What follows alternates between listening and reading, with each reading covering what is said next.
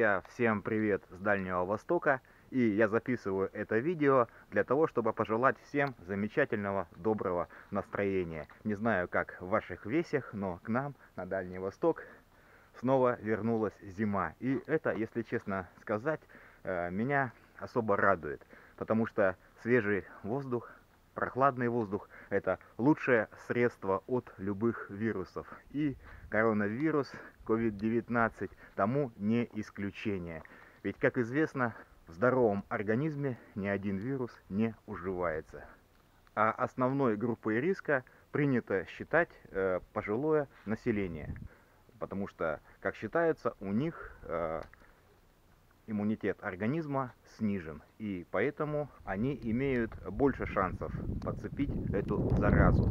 Самоизоляция это, конечно, хорошо, сидим дома, э, занимаемся самообразованием, занимаемся воспитанием детей и приятно проводим время в семье. Но тем не менее не забываем проветривать как можно чаще помещение, чтобы свежий воздух проникал в ваше помещение, в вашей квартире и в ваши легкие. А для тех, кто имеет возможность, как я, перемещаться по придомовой территории, добро пожаловать на свежий воздух. Друзья, свежий воздух холодная вода, обливание, растирание, снег. Все это залог нашего здоровья.